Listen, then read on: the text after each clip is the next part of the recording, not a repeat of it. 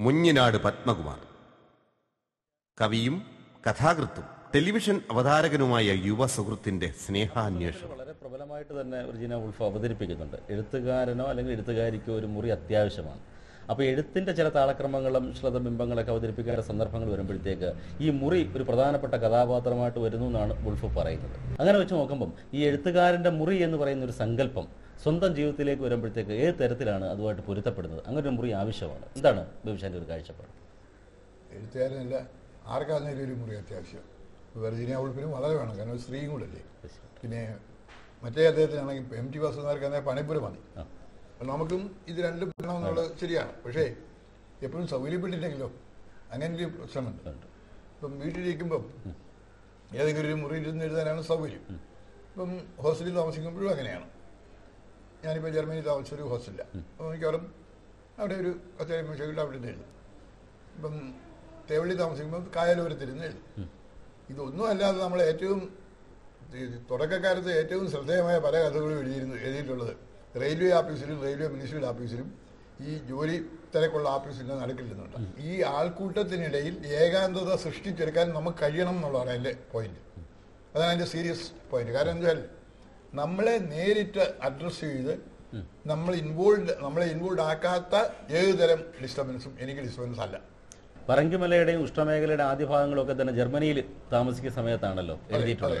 അപ്പൊ ആ ഒരു കാലാവസ്ഥ ആ ഒരു ദേശീയ ഒരു മറ്റൊരു ദേശീയതയുടെ ഒരു വസ്തുതകളൊക്കെ ഉണ്ട് രാഷ്ട്രീയ വിശ്വാസമല്ല അവിടെ ഇരുന്നു കൊണ്ട് എങ്ങനെ ശിവനെ നമുക്ക് സൃഷ്ടിക്കാൻ പറ്റും? എങ്ങനെയാണ്? ഈ നേരത്തെ ബേബിച്ചാൻ പറഞ്ഞ ഒരു ഏകാഗ്രത അവിടെ വളരെ അനിവാര്യമായിട്ട് വരുന്നുണ്ടോ? അതിൽ എനിക്ക് വേറൊരു കാര്യം എടുത്തു പറയാനുണ്ട് ആ കാര്യത്തിൽ. കാരണം എന്താ നമ്മൾ ജർമ്മനിയിൽ ഇരിക്കുമ്പോൾ ജർമ്മനിയിൽ ഇരുന്നുകൊണ്ട് ജർമ്മനിയെ കുറിച്ച് എഴുതാനാ ബുദ്ധിമുട്ട്. ജർമ്മനിയിൽ ഇരിക്കുമ്പോൾ ആ കുറിച്ച് എഴുതാൻ കുറച്ച് എളുപ്പം. ഞാൻ ജർമ്മൻ പശ്ചാത്തലത്തിൽ എഴുതിയിട്ടുള്ള ഏറ്റവും പ്രധാനപ്പെട്ട വർക്ക് കാവേരിയുടെ വിളി എന്ന് പറയുന്ന നോവലാണ്. ആ സാധനം ഞാൻ നാട്ടിൽ വന്നതിന് ശേഷം എഴുതിയതാണ് പിന്നെ ജർമ്മൻ പശ്ചാത്തലത്തിൽ കുറെ കഥകൾ എഴുതിയിട്ടുണ്ട്. അതെല്ലാം നാട്ടിൽ വന്നതിന് ശേഷം എഴുതിയതാണ് ബേബിച്ചാന്റെ വളരെ പ്രസിദ്ധമായിട്ടുള്ള കഥയാണ് ആൾവാർ തിരുനഗറിലെ പന്നികൾ. അതിനകത്ത് പറഞ്ഞ അതിനകത്ത് പറഞ്ഞിരിക്കുന്നത് സൗഹൃദങ്ങൾക്ക് വലിയ അർത്ഥമില്ല എന്നുള്ളതാണ്. എന്നാൽ ജീവിതത്തിൽ വളരെയധികം സൗഹൃദത്തിന്റെ കാര്യത്തിൽ സമ്പന്നനുമാണ്. എങ്ങനെ ഇത് പൊരുത്തപ്പെടുന്നു?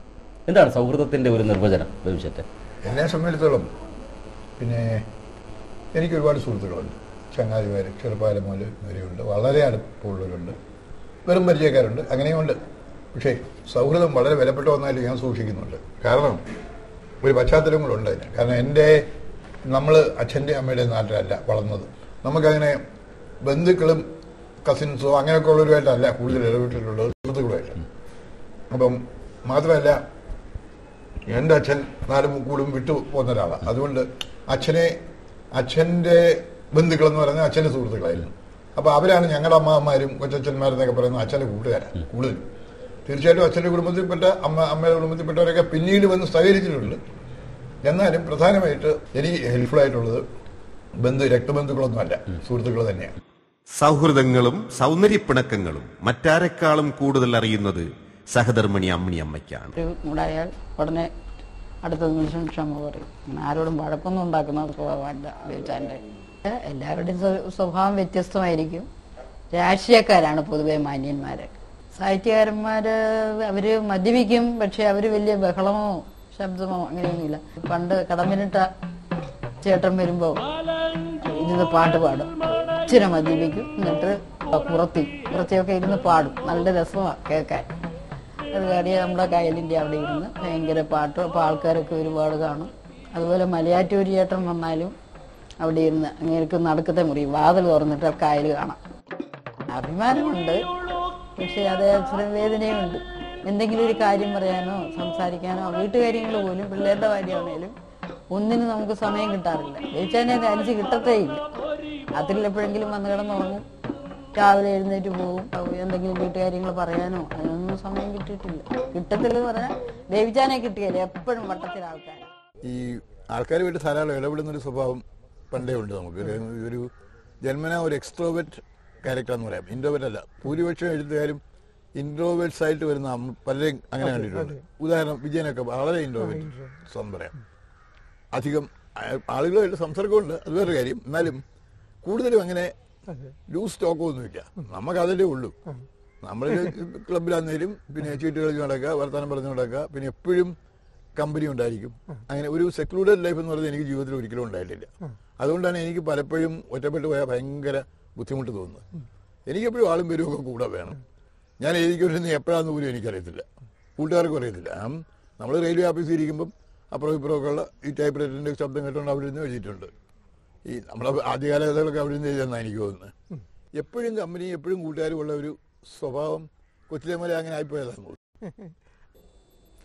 സുഹൃത്തുക്കളുമായിട്ട് പിണങ്ങേണ്ടി വന്ന അവസരങ്ങൾ ഉണ്ടായിട്ടുണ്ടോ ഇത് മാജിക് ഒന്നുമല്ല നമ്മളൊരു മനുഷ്യനെ സ്നേഹിച്ചാൽ ആ സ്നേഹം മിക്കവാറും തിരിച്ചു വരുന്നുണ്ട്. കിട്ടാത്ത അനുഭവങ്ങളുണ്ട്. കാരണം കിട്ടാത്ത അനുഭവം വരുമ്പോൾ നമുക്ക് ബുദ്ധിമുട്ട് തോന്നാത്തതിന് ഒരു രഹസ്യമുണ്ട്.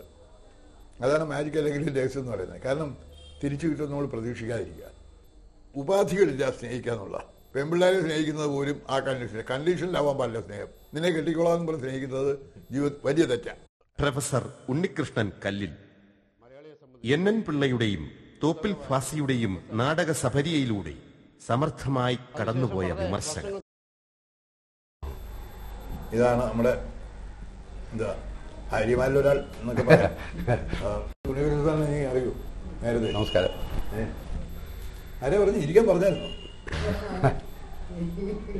അതായിരുന്നു ഒട്ടും അടുത്തിരുന്നാലും കുഴപ്പമൊന്നും ആധുനിക സാഹിത്യത്തിന്റെ വക്താക്കളായ താങ്കൾ ഉൾപ്പെടെയുള്ള സാഹിത്യകാരന്മാര് ചെറുപ്പക്കാരെ വഴിതെറ്റിച്ചു എന്നൊരു ചൊല്ലുണ്ട്. അന്നും ഇന്നും. അതിൽ ചില രോഗന്മാരാണ് അങ്ങനെ അഭിപ്രായപ്പെടുന്നത്. അല്ല അങ്ങയുടെ അഭിപ്രായം എന്താണ്? വിവരമുള്ള നിരൂപകന്മാർ പറയുമെന്ന് എനിക്ക് തോന്നുന്നില്ല. അതൊരു വിവരമുള്ള നിരൂപകന്മാരെ കുറവാണല്ലോ. അങ്ങനെ അങ്ങനെ ഒരു കാര്യമുണ്ട്. ഞാൻ ആരെയും വഴി തെറ്റിക്കാൻ പോയിട്ടില്ല വഴി നന്നാക്കാനും പോയിട്ടില്ല. കാരണം എന്റെ ജോലി അതല്ല. ഞാനൊരു മോറൽ ടീച്ചറല്ല. ഒരു എഴുത്തുകാരൻ ഒരു മോറൽ ഗൈഡ് ആവണമെന്ന് ഞാൻ വിശ്വസിക്കുന്നില്ല. അനുജൻ തമ്പി കാക്കനാട് കാക്കനാടൻ കുടുംബത്തിലെ മറ്റൊരു ജീനിയസ് പിന്നെ സദാനന്ദൻ ഇടയ്ക്കുന്ന വീട്ടിലെ അംഗങ്ങളാണ് വി പി എസ് ആണ് ഇവരെല്ലാം വിട്ടു വന്നു. പി കെ വരുന്നത് തന്നെ അവർ വരുന്നു. പി കെ വെളിയും പറഞ്ഞു വന്നു. കഴിഞ്ഞപ്പോൾ സാധാരണ ഇരിക്കുന്നില്ല. അകത്തോടുന്ന് ഇവിടുത്തെ അകത്തിരുന്ന് തുറന്ന് നമുക്ക് സംസാരിക്കുന്നത് സെയിം രണ്ടിരുന്ന അപ്പൊ അങ്ങനെയൊക്കെ ഞാൻ വേറെ പല സാഹിത്യകാരുമായിട്ട് ഇരുന്ന് അങ്ങനെ കണ്ടിട്ടില്ല. ഏറ്റവും ഫേവറേറ്റ് റൈറ്ററാണ് ബേച്ചാൻ അത് വലിയ വിശ്വസാഹിത്യത്തിലേക്ക് വലിയ കക്ഷികളായിട്ടാണ് ഞാൻ ബേച്ചാനെ താരപ്പെടുത്തുന്നത് ലോക്കൽ കക്ഷികളായിട്ട് ഒരല്ല കാരണം പല കാര്യങ്ങളും. ഇപ്പൊ ഉദാഹരണമായിട്ട് സെക്സിന്റെ അതിപ്രസരം പലപ്പോഴും ബേച്ചാനെതിരായിട്ട് വലിയ ചാർജാണ്. പക്ഷെ സെക്സിന് ഇത്രയും മനോഹരമായിട്ട് മറ്റു റൈറ്റർ പറഞ്ഞിട്ട് എനിക്ക് ഒറോദ എന്ന് പറയുന്നത് ഉപയോഗിച്ചാൽ എഴുതിയിട്ടുണ്ട്. കള്ളു ഷാപ്പിൽ നിന്ന് പാപ്പൻ നേരെ പോയത് ജാനമ്മയുടെ തഴപ്പായുടെ കത്തിയിരിക്കുന്ന നഗ്നതയിലേക്കാണ്. ഇതേ സമയത്ത് ഇതേ സിറ്റുവേഷൻ ഡി എച്ച് ലാറൻസ് എഴുതിയിരിക്കുന്നതാണെന്ന് എനിക്കറിയാം. അത് എഴുതി ഞാൻ പറയാൻ കൊള്ളത്തില്ല ഇവിടെ.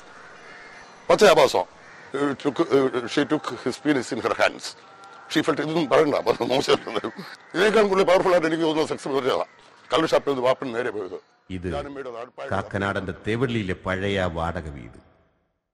മലയാള നാട് വാരികയുടെ മുൻ പത്രാധിപരും സുഹൃത്തുമായ Shri V B C Nair ഹൃദയത്തിന്റെ ഉള്ളറകൾ തുറക്കുന്നു. ചിത്രീകരിച്ചിരിക്കുന്നത് വളരെ മലയാളത്തിൽ ഒരു എഴുത്തുകാരനും പിന്നെ ചെയ്യാത്ത രീതിയിൽ ഒരു പ്രത്യേക രീതിയിലാണ് സ്ത്രീക്കുള്ള സ്ഥാനം കൊടുത്തിരിക്കുന്നത്. സ്ത്രീ ഒരു സെക്സിന്റെ സിമ്പിളാണെന്ന് പറഞ്ഞാൽ അതെ തീർച്ചയായിട്ടുമാണ്. നമ്മൾ സെക്സുമായിട്ട് സ്ത്രീയായിട്ട് ബന്ധപ്പെടുന്നുണ്ട്. ഈ സ്ത്രീയും പുരുഷനും തമ്മിലുള്ള ബന്ധം എന്ന് പറയുന്നത് ഏറ്റവും വലിയ ഈ ആരൊക്കെ എത്രയൊക്കെ ശീലമാണോ ശീലമാണെന്നൊക്കെ പറഞ്ഞാലും ശരി. ഈ സ്ത്രീയും പുരുഷനും തമ്മിലുള്ള ബന്ധത്തോളം പ്രാധാന്യമുള്ള ഒരു ബന്ധം വരെയില്ല അത്രയും വിശുദ്ധമായൊരു ബന്ധവുമില്ല. അത്രയും ഡിവൈൻ ആയിട്ടുള്ള ബന്ധവുമില്ല. കാരണം അതിന്റെ മറ്റൊരു രൂപമാണ് ശിവശക്തി ബന്ധം എന്ന് പറയുന്നത് അല്ലെങ്കിൽ പ്രകൃതി പുരുഷ ബന്ധം എന്ന് പറയുന്നത്. അപ്പം അവിടെ നമ്മൾ സ്ത്രീയെ വെറും ഒരു ഭോഗാസക്തി തീർക്കാനുള്ള ഉപകരണമായിട്ടല്ല കാണുന്നത്. ക്രിയേഷന്റെ അടിസ്ഥാനം എന്നുള്ള രീതിയിലാണ്. ഇപ്പം ഈ ശിവശക്തി സംഗമത്തിലാണ് ഒരു ഇന്റലക്ച്വൽ ട്രാൻസ്ഫോർമേഷൻ മനുഷ്യന് സംഭവിക്കുന്നതെന്ന് ശങ്കരാചാര്യ പറഞ്ഞിട്ടുണ്ട് അത് അതിനപ്പുറം ഒരു കക്ഷി നമ്മളെ അറിഞ്ഞൂടാ അത് വലിയ ഉള്ള ആ കൂട്ടം അപ്പം ഈ മൂലാധാരത്തിനും മൂന്നര ചുറ്റി ചുറ്റി സർപ്പാകാരമായിട്ട് നിദ്ര ചെയ്യുന്ന കുണ്ടലിനി ദേവിയെ ഉണർത്തി ഈ സഹസ്രത്തിലുള്ള കമലത്തിൽ ഇരിക്കുന്ന ജീവനുമായിട്ട് പ്രാണനുമായിട്ട് ബന്ധപ്പെടുത്തുക എന്നുള്ളതാണ്. ആ ബന്ധം ഉണ്ടായി കഴിയുമ്പം മനുഷ്യന് ഒരു വലിയ ബുദ്ധിപരമായ പരിണാമം സംഭവിക്കും ആത്മീയത്തിൽ നിന്നും അതീതമായ മതം എന്ന് പറയുന്ന പോലെ ശുദ്ധമായ ഒരു അസംബന്ധമാണ് ഈ മത അതീതമായ ആത്മീയത എന്ന് പറയുന്നത്. ആത്മീയത പ്രസക്തമാണെന്നും അതിനർത്ഥമുണ്ടെന്നുമാണ് എന്റെ വിചാരം. പക്ഷേ ആ ആത്മീയതയും സാറ് പറഞ്ഞാൽ ഈ മതവും തമ്മിൽ എങ്ങനെ ബന്ധിപ്പിക്കാം എന്നുള്ളത് ഞാൻ പലപ്പോഴും ആലോചിച്ചിട്ട് എനിക്ക് വലിയ ബന്ധം കണ്ടുപിടിക്കാൻ കഴിയുന്നില്ല. കാരണം മതം മതം എന്ന് പറയുമ്പോൾ വേറൊരു കാര്യം കൂടി ഞാൻ ഉദ്ദേശിക്കുന്നുണ്ട്. ഇപ്പം റിലിജിയൻ എന്ന് പറയുന്നതിന്റെ പ്യുവർ സെൻസിലല്ല മതം ഞാൻ ഉപയോഗിക്കും ഉപയോഗിക്കുമ്പോൾ സംഘടിത മതം എന്നുള്ളതാണ്. ഓർഗനൈസ്ഡ് റിലിജിയൻ എസ്റ്റാബ്ലിഷ്ഡ് റിലിജിയൻ അത് എപ്പോഴും മനുഷ്യന് അപകടമായിട്ടേ സംഭവിച്ചിട്ടുള്ളൂ. പലപ്പോഴും നമ്മൾ ചരിത്രം മുഴുവൻ നോക്കിയാലും ശരി മതത്തിന്റെ പേരിൽ ഒരുപാട് രക്തം ഒഴുകിയിട്ടുണ്ട് ഒരുപാട് മനുഷ്യൻ യുദ്ധങ്ങൾ ഉണ്ടായിട്ടുണ്ട് ഒരുപാട് മനുഷ്യന്റെ ജീവനും എല്ലാം നശിച്ചു പോയിട്ടുണ്ട്. അപ്പം അങ്ങനെയുള്ള മതത്തെ ഒരു വിധത്തിൽ നമുക്ക് ആദരിക്കാൻ കഴിയുന്നില്ല. മതം it in its purest sense.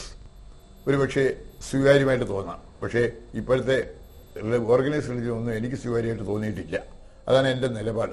അത് ഈ മതാതീതമായ ആത്മീയത എന്നൊക്കെ പറയുന്ന വാക്കുകൾ. എനിക്ക് തോന്നുന്നത് അത് വാചക കസർത്ത് എന്നുള്ളതല്ല അതിനപ്പുറത്തൊരു മീനിങ് അതിനുണ്ടെന്ന് എനിക്ക് അതെ. എനിക്ക് എനിക്ക് ഞാൻ ധരിച്ചതും അങ്ങനെ തന്നെയാണ്. അപ്പം ഞാൻ പറഞ്ഞത് ആ അർത്ഥത്തിലുള്ളൊരു ആത്മീയതയെക്കുറിച്ച് എനിക്ക് അതിനെക്കുറിച്ച് എനിക്ക് അഭിപ്രായം പറയാനുമില്ല. അതിനെ ഞാൻ അക്സെപ്റ്റ് ചെയ്തിട്ടില്ല. കൊട്ടാരക്കരയിലെ മൈലം ക്രിസോസ്റ്റം മാർത്തോമ ചർച്ചിൽ കാക്കനാട്. കത്തോലിക്ക സമുദായത്തിൽ നിന്നും പുറത്തു ചാടി പൗരോഹിത്യത്തിന്റെ അനീതികൾക്കെതിരെ ചാട്ടവാറെടുത്ത അച്ഛന്റെ മകനാണ് കാക്കനാട്. പിതാവ് ജോർജ് കാക്കനാടന്റെ നേതൃത്വത്തിൽ പണി കഴിപ്പിച്ചതാണ് ഈ പള്ളി.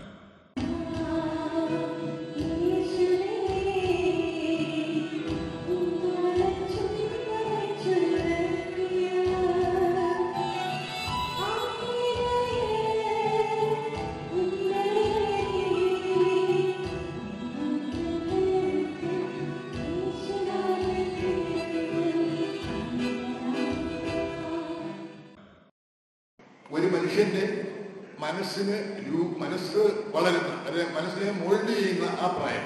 ആ പ്രായം ചെലവഴിച്ച് ഇവിടെ ആയതുകൊണ്ട് എന്റെ എല്ലാ വിചാരധാരകളിലും എന്റെ വളർച്ചയിലും എന്റെ പരാജയത്തിലും പോരായ്മകളിലും എല്ലാം ഈ മൈലമാണ് കാരണങ്ങൾ ഈ ദൈവത്തിൽ മനുഷ്യരായി പിറന്നതും മനുഷ്യരെ ഉച്ചരിക്കാൻ വേണ്ടി പിറന്നതും പാപികളെ വിശുദ്ധരാക്കി തീർക്കാൻ വേണ്ടി കാലുകളിലെ മഹാത്യാഗത്തിലൂടെ മനുഷ്യനെ മനുഷ്യ സ്നേഹം എന്താണെന്ന് മനുഷ്യനെ പഠിപ്പിക്കാനും പഠിപ്പിക്കാനും ഒക്കെ വേണ്ടി. ഇന്ന് നമ്മോടൊപ്പമുള്ള നമ്മുടെ ഒരുപക്ഷെ മാർത്തോമാ സഭയിലുള്ള ഏറ്റവും വലിയ തേജസ്വിയായ ഏറ്റവും വലിയ പ്രതിഭയായ ഫിലിപ്പോസ് മാർക്കസ് തിരുമേനി അന്ന് ഈ പള്ളി വികാരിയായ തിരുമേനി ഗവൺമെന്റ് പട്ടക്കാരനായി ശുശ്രൂഷ ചെയ്ത് കൊട്ടാരയ്ക്ക് അടുത്തുള്ള മൈലർ എന്ന് പറയുന്നത് അന്ന് എനിക്ക് വളരെ സഹായവും എന്നെ വളരെ സ്നേഹിക്കുകയും ചെയ്യുന്ന ഒരു കുടുംബമായിരുന്നു കാക്കനാടൻ കുടുംബം. പിതാവും മക്കളും എല്ലാവരും സാധുക്കളുടെ സഹതാപമുള്ളവരാണ്. സഭയുടെ നല്ല അംഗങ്ങളായി വിശ്വസിച്ച അംഗങ്ങളായാണ്. ആ പെൺമക്കളെല്ലാം സൺഡേ സ്കൂളിലെ അധ്യാപകരും അമ്മ സേവികാ സംഘത്തിലെ പ്രവർത്തകയും ഒക്കെ ആയി കാക്കനാടൻ എന്നുള്ള പേരിനാൽ അറിയപ്പെടുന്ന ജോർജ് വർഗീസ് ആദ്യകാലം തന്നെ തന്നെ ഒരു സമർത്ഥനായ വിദ്യാർത്ഥിയായി. വായനയിലും പ്രസംഗത്തിലും സംഭാഷണത്തിലും ഒക്കെ അദ്ദേഹം ഒരു മികച്ച ആളായി. അദ്ദേഹം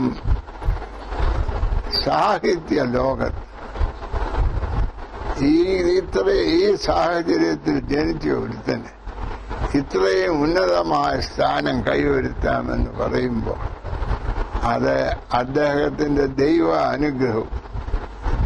കഴിവുകളുടെ നിറവും